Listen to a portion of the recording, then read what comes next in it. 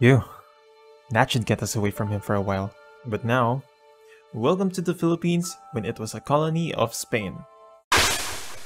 Ah, what a beautiful day. Birds are singing, flowers are blooming. Yeah, Steve, I'm starting to get fed up with you, you know. But I suppose I should take you to meet some friends of mine.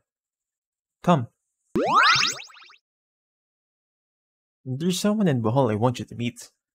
This is Francisco Sendrijas, who used to be a cabeza de barangay or a barangay captain.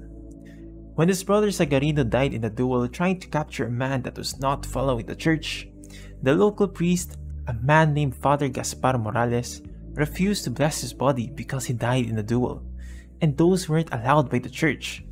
Mind you, Father Morales was actually the one who told Sagarino to pursue him. Exactly.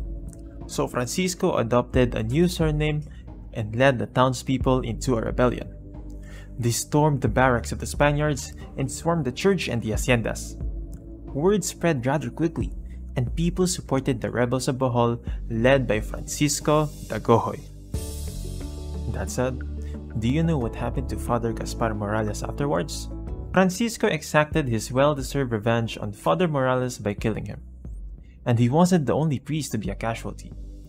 Father Giuseppe Lamberti, an Italian Jesuit priest in Jagna, also died at his and his followers' hands. Sure, these revolts lasted for a short time, maybe until his death. I will now ask you another question. Do you think Dagohoy would allow them to give up that easily? Absolutely not, right? Of course it didn't. Do you think Dagohoy would allow them to give up that easily? Even after his death, the Downs people kept his legacy alive until they stopped in 1829.